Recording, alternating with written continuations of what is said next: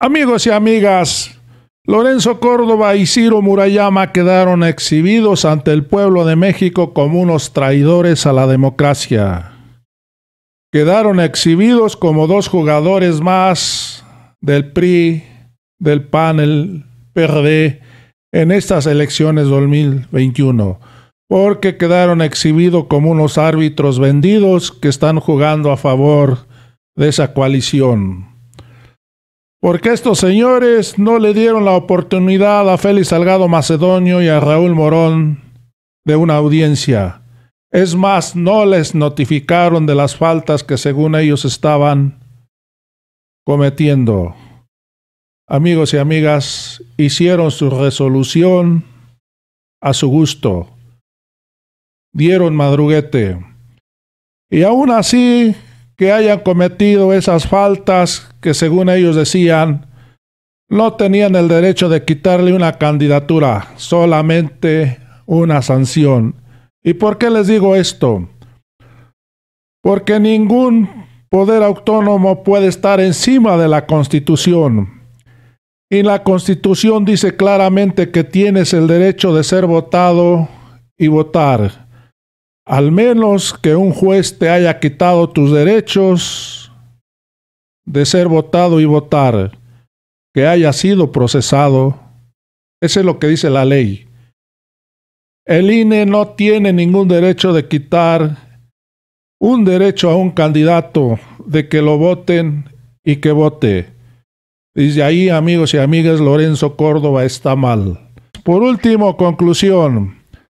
El Tribunal Electoral le dice al INE que prácticamente no permitió a los precandidatos y candidatos hacer uso de los recursos legales a los que tienen derecho y que está transgrediendo su derecho a ser votados. Porque el magistrado presidente José Luis Vargas Valdés señaló que en el caso de Guerrero, las inconsistencias en el proceso y en la aplicación de la sanción más severa, como fue el retiro de la candidatura de gobernatura Félix Salgado Macedonio, denotan cierta parcialidad. Amigos y amigas, yo no diría cierta parcialidad, completa parcialidad a favor de esa coalición del PRI, del PAN, del PRD. Vamos a ir a las redes sociales. ¿Qué se está comentando? ¿Qué es lo que dice este señor David Vargas Arujo? El Tribunal Electoral Poder Judicial ordena al INE que en 48 horas se pronuncie por una nueva resolución a las candidaturas de Félix Salgado Macedonio y Raúl Morón, tomando en cuenta sus derechos que tienen como ciudadanos el votar y ser votado. Amigos y amigas, esta publicación hasta ahí está bien. Todas y todos al INE. Fuera Lorenzo Córdoba del INE. Amigos y amigas, así es. Hoy Lorenzo Córdoba debe de tener un juicio político y ya lo está promoviendo Mario Delgado Morena y el diputado Fernández Noroña. Vamos a seguir con las redes sociales. ¿Qué dice Francisco Garfias? El magistrado presidente del Tribunal Electoral, el señor Vargas, calificó de excesiva y desproporcionada la sanción de retirar la candidatura a Félix Salgado Macedonio por no presentar informe de gastos de precampaña. ¿Qué es lo que dice Francisco Garfias? Se le habrá olvidado que el INE solo aplicó la ley. Amigos y amigas, claramente Francisco Garfias es uno de la derecha. Ya lo dije y lo vuelvo a repetir. ningún órgano autónomo puede estar encima de la Constitución donde dice que tienes el derecho de ser votado y votar, al menos que te hayan quitado tus derechos, que haya sido procesado, que un juez te los haya quitado.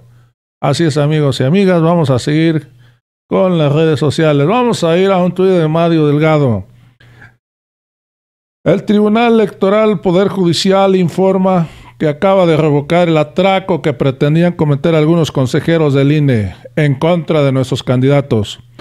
Vamos a seguir exigiendo imparcialidad y respeto al derecho del pueblo a decidir. Reconocimiento al Tribunal Electoral por haber hecho justicia. Esto es lo que dijo Mario Delgado. Amigos y amigas, van a seguir las manifestaciones Hoy hay que enfocarnos a que se le haga juicio político a Lorenzo Córdoba, Ciro Murayama. Estos señores no deben de estar en el INE. Debemos de buscar un árbitro que sea neutral, amigos y amigas. Ahora vamos a ir a un fragmento del video del magistrado, el presidente del Tribunal Electoral.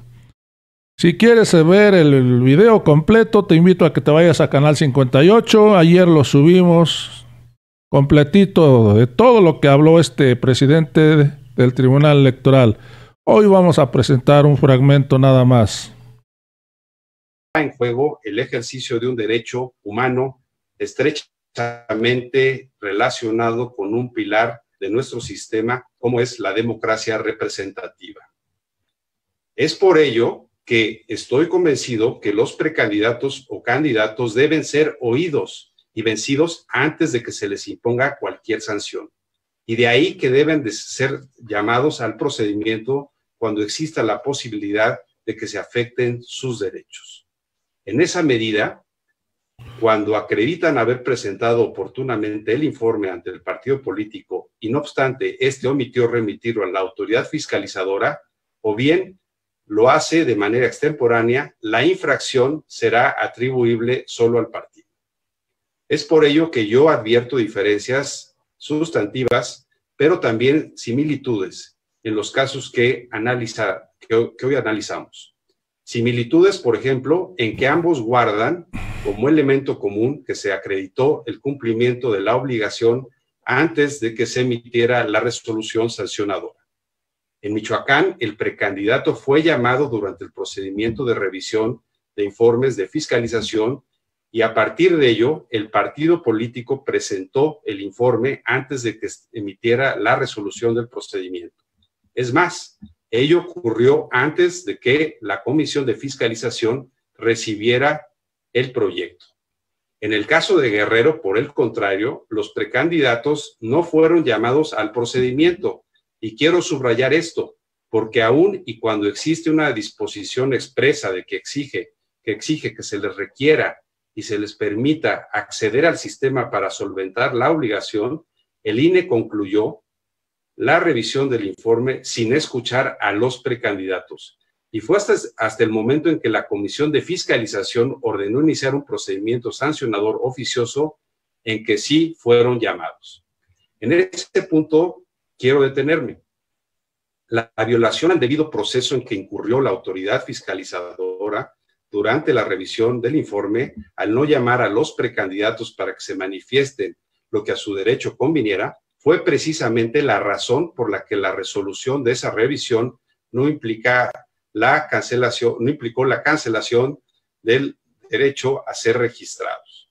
De ese modo, si durante el procedimiento oficioso fueron llamados para garantizarles el acceso a una defensa adecuada, considero que implicaba la posibilidad para que presentaran todos los elementos necesarios para subsanar las irregularidades detectadas, esto es, de presentar el informe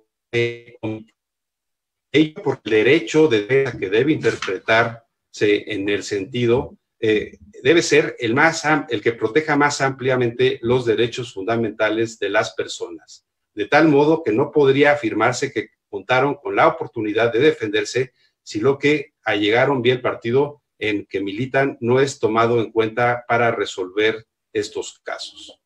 El derecho de defensa sería una oportunidad ficticia, una mera simulación, es decir, la nada. Es por ello que, como lo adelanté, los casos que resolvemos guardan identidad en los aspectos sustanciales de tal manera que deben tener iguales soluciones jurídicas. En ambos casos se hizo llegar a la autoridad los informes de gasto de pre-campaña a partir de la garantía de audiencia y antes de que se emitiera la resolución por la que negó su derecho a ser registrado. Es decir, durante, en el caso Michoacán, durante la actividad de monitoreo, las autoridades fiscalizadoras detectaron, la autoridad fiscalizadora detectó 14 lonas y un banner en Internet en donde se aludía al nombre, apellido e imagen del, precandidato Raúl Morón Orozco, quien era público y notorio que aspiraba a la candidatura de Morena al gobierno de Michoacán.